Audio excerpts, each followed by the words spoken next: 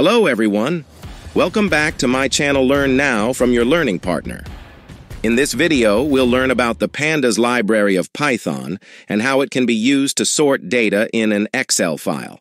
Sorting data is an essential part of data analysis, and Pandas provides us with powerful tools to perform this task.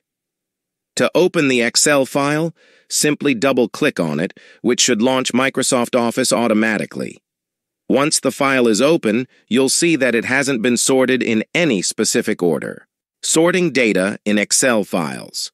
Using Pandas. Sorting data in an Excel file using Pandas is a straightforward process, so let's start with Python. Here is an example to demonstrate how it works. Suppose we have an Excel file named data.csv with the following data. To sort this data by age, we first need to import the pandas library and read the Excel file using the readcsv function import pandas as pd df pd.readcsv data.csv. This will create a pandas data frame object that contains the data from the Excel file.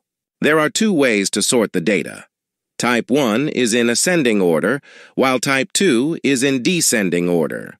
We can then sort the data by age using the sort values function, df sorted, df sort values by age. Shush, print the sorted data frame, print df sorted. In this example, we had sorted the data function by the age column in ascending order. The resulting sorted data frame, df sorted, is printed to the console as shown below. To sort the data in descending order in pandas, you can use the sort values method and set the ascending parameter to false. Here is an example. Import pandas as PD.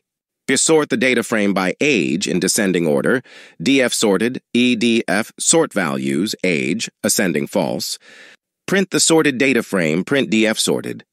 Then we use the sort values method to sort the data frame by the age column in descending order by setting the ascending parameter to false.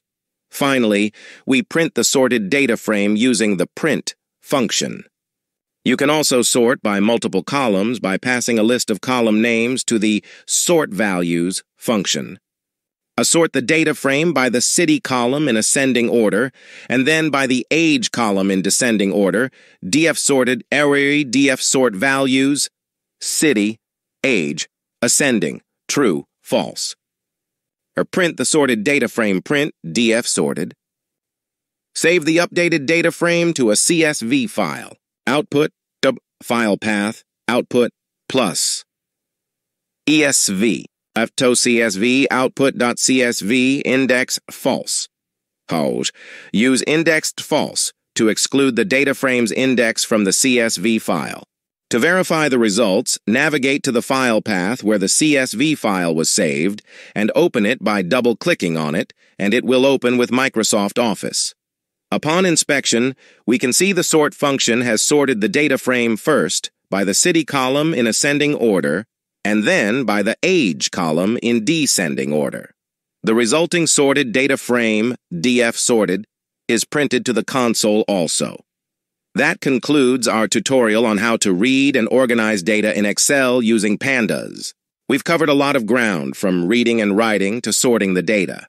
In the next module, we'll delve into a new topic, how to filter data in Python using pandas.